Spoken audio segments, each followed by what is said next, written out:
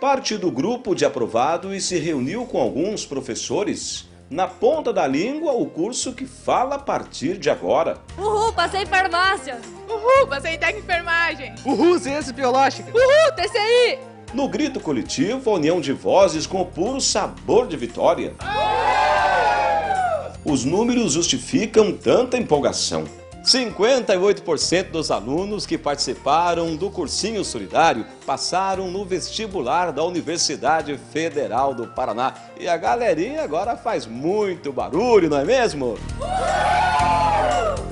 Foram meses de preparo, horas em sala de aula, com professores se desdobrando na criatividade. Para que vocês vençam essa batalha. O fato deles estarem aprovados para a gente, professor, é como se fosse o nosso próprio filho. Entenderam aquilo que a gente passou e conseguiram se desenvolver bem na hora da realização das provas aí. Como se eu estivesse passando todo, todo ano lá, eu passei em vários cursos. Sensação de trabalho concluído, realizado, né? A gente trabalhou o ano inteiro tentando incentivá-los e apoiando para que eles consigam essa aprovação e quando chega um resultado desse a gente se sente realizado. Para essa turminha, o ano foi de estudo, de sonhos e agora esse sonho virou realidade é a concretização do desejo. Logo então ganharemos uma nova farmacêutica. Sim, farmacêutica com qualidade. É excelente passar no curso que você gosta, que é, no meu caso a comunicação, ver os meus professores ao meu lado, me apoiando o tempo todo. Valeu muito a pena que nós aprendemos junto com o cursinho a crescer e que correr atrás do nosso sonho, através do incentivo dos professores, dos amigos.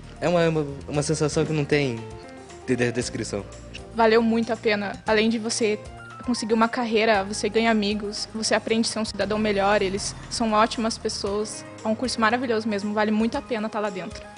Cursinho Solidário, contemplando e incluindo jovens na preparação do vestibular da Universidade Federal do Paraná. A gente tem uma equipe bastante comprometida, né? tanto é que ah, comparando aí no processo normal, a gente teve pouquíssimas exceções assim que não teve aula.